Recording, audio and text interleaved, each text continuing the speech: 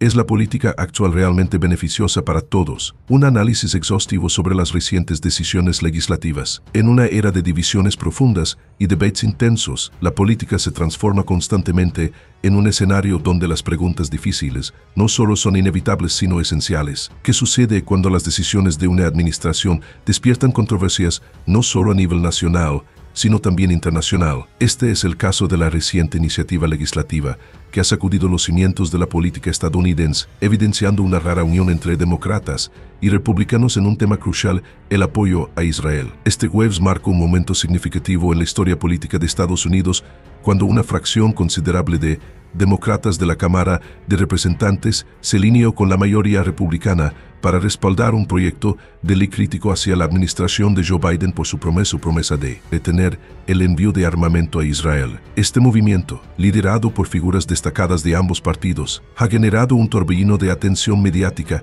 y pone en relieve las tensiones internas que enfrenta el partido gobernante. La llamada Ley de Apoyo a la Asistencia de Seguridad de Israel no solo busca cuestionar la pausa impuesta por la Casa Blanca, sino también presionar para que se liberen los fondos de ayuda militar aprobados por el Congreso. Los protagonistas de este episodio, incluidos demócratas como Tom Susi y Darren Soto, junto a republicanos de la tala de Michael McCall, han destacado la necesidad de mantener un compromiso firme con Israel un aliado estratégico en el Medio Oriente. Este proyecto de ley no es simplemente un documento más en el mar de la burocracia legislativa, es un manifiesto de la posición estadounidense en un contexto global inestable. La decisión de apoyar a Israel, o la falta de ella, tiene ramificaciones que van más allá de las fronteras nacionales, afectando alianzas y percepciones internacionales. El debate en torno a este tema ha resaltado una perspectiva republicana que aboga por la intervención directa y decisiva en apoyo de los aliados un enfoque que resuena profundamente con una sección del electorado americano. Mientras la Cámara de Representantes ha dado un paso audaz,